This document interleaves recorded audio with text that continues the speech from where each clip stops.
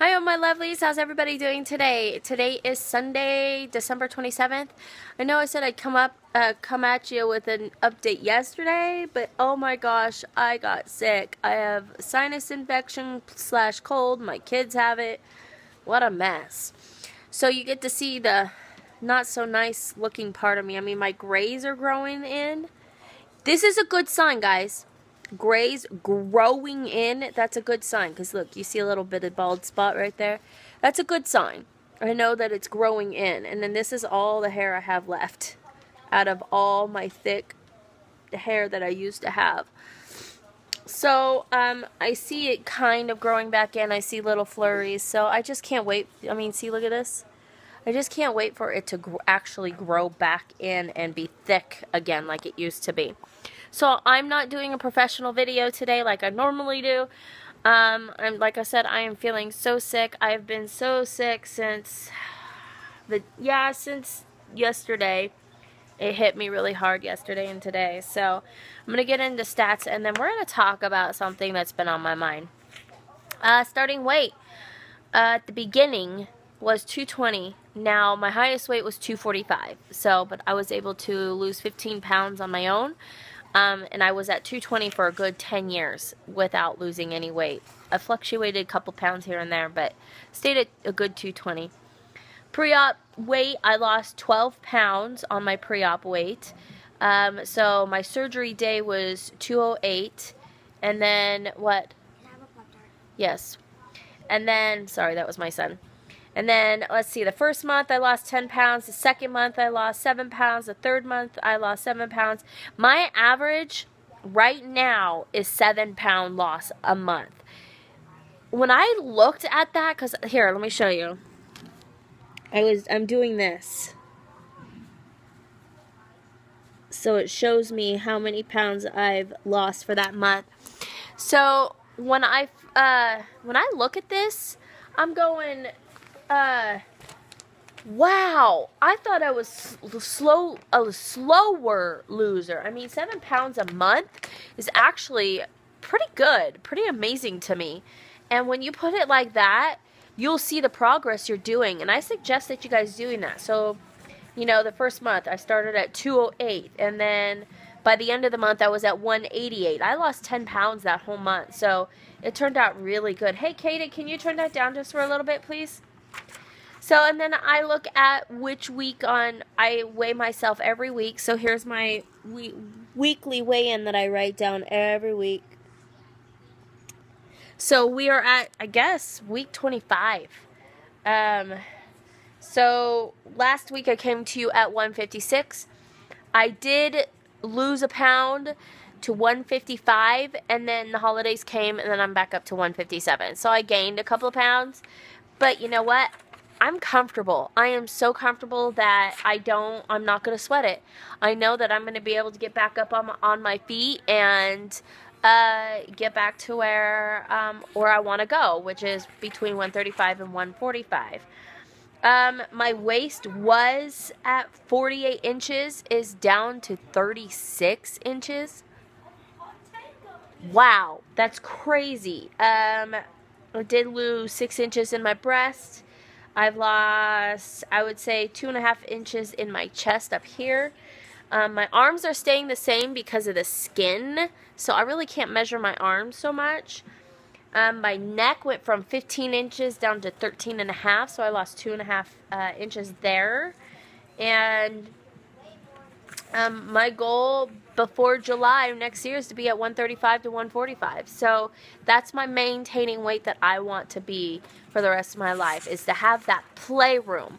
Like, let's just say I gain five pounds and I'm at 135. But I, if I get to 140, heck, I don't mind. I want to give myself that 10 pound uh, grow, or not grow, but gaining weight and losing weight. And I want to give myself that um, weight range. So, um, that's my goal is to get to 135, 145 and just stay there for the rest of my life. So I can't wait to get there. I am officially in a size 10 jean. I started at 16, 18 and I'm down to size 10. So officially lost six pants sizes. I tried on some size 10s and they fit perfect.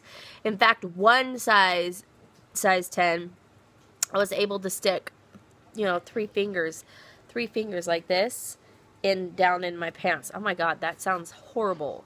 Sorry. Dirty mind. Oh my god. Anyway, uh, I'm going to talk to you about something serious. Um,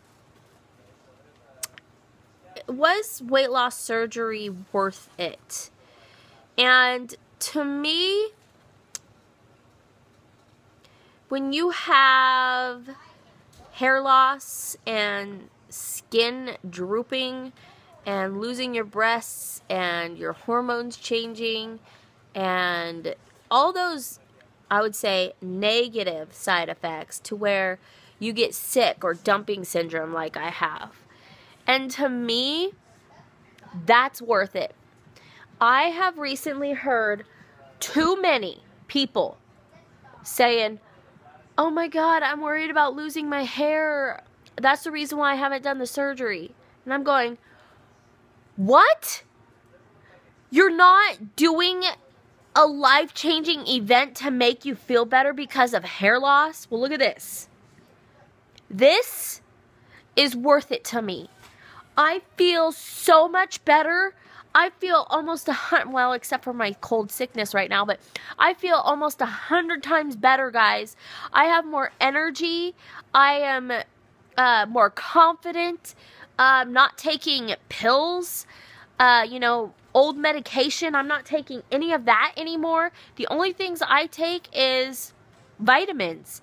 And I haven't taken any medication unless I have a massive migraine and then I take some Tylenol. But other than that, I don't take any medication.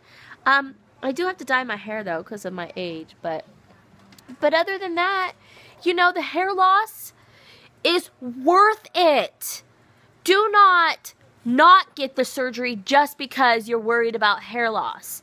Yes, it may happen. Some people are lucky and it doesn't happen to them. You keep in the biotin, you get in nioxin, you get in, what is it, keratin? I can't remember the other one. You get in your protein. All those things will help gain the regrowth back. And after six to eight months, it starts growing back. So it, between the loose skin and hair loss and some side effects that I have, worth it to me. It is so worth it to me. And I would I would like to think that and believe that it should be worth it for anybody that gets the surgery. It is a life changing and life altering event that none of that should matter. Your health should be more important than this. Okay? Your health should be more important than this. And yes, I'm depressed about my hair. Don't get me wrong. I hate it. I, Sometimes I cry. I put wigs on almost every day. When I'm home, I don't bother. And when I'm doing this video, obviously I don't bother, especially when I'm sick. But I go out with a wig every day. And I've got all sorts of different kinds of wigs so I, if I want to change my hairstyle. But I'm telling you right now, guys, look at this. Non-scale victory right there. it is worth it. This surgery is worth it. Hold on. I'm, I'm not editing this video, so I'm sorry in advance for coughing on you guys. I'm getting myself all worked up. It's making me cough. So, um, if you are looking into getting the surgery, please don't let the hair loss stop you. Don't let the saggy skin or saggy boobs stop you because it is worth it in the end to know your lifestyle changed has saved your life. And this lifestyle change for me, I know it's saving my life. And if I kept on going and going to, from where I was, I would have gone down on a huge, I was already headed down, spiral downhill, man. And don't let it stop you guys. It is worth it. Uh, yeah, there is dumping syndrome, but I've gotten through it and I'm fine now. But it's all a learning process. I've learned what I can and cannot eat because at this point, I can pretty put pretty much put anything in my body, just little portions. I can't eat more than two ounces without getting full. So I still have great restrictions. Sometimes I can get three to four ounces, but that's very rare. But I'm telling you guys, please, please don't let anything stop you. Don't let people's comments stop you. If they say, oh, it's the easy way out, don't let that stop you. It's worth it. If they say, uh, if they say, um, um, oh, if you can lose the weight on your own, uh, if you can lose your weight now, you can lose your weight on your own, you don't need the surgery, and they're not supportive, don't let that stop you. It is worth it. I am now a huge promoter for weight loss surgery. If you feel like you need it and you have done everything you possibly can, every diet on the face of the earth, and you cannot lose weight, I support you. I support that. I get it. I get that there are rude and ignorant comments out there saying, "Oh, you know, that's that's a the worst way out. I could do it on my own." I those are unsupportive comments. Those are things that I choose to ignore and do what's right for me and do what's best for me. And I support you. If you decide to get this surgery and you haven't gotten it yet, don't let any of these things stop you. Do it for you, not for anybody else, and get some wigs. get some wigs. I get my wigs from hairsisters.com. They are cheaper for synthetic wigs. They're a little bit more pricey side for real hair so you can curl it if you want. But the wigs are amazing. I get compliments all the time on how beautiful my hair is. And I'm like, oh yeah, it takes forever to do this style. I play along. They're like, "Oh my god, your hair is so beautiful. I bet you you should be a hairdresser." I heard one time. I'm like, "Yeah, it just takes so long for this. I don't think I could be a hairdresser. I get impatient." They're like, "Oh no, you should." And I'm like, "If you only could see what's underneath." Anyway, I just have fun with that.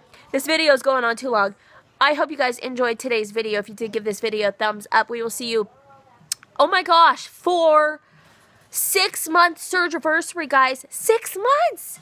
OMG! I hope by six months I am down closer to 150 because I'm at, when I was 157, but you know, blah blah, holidays. All right. Love you guys. We'll see you next time. And thank you, everybody, for all the shout outs, for all the comments, for all the love. Love you. Ciao. Bye.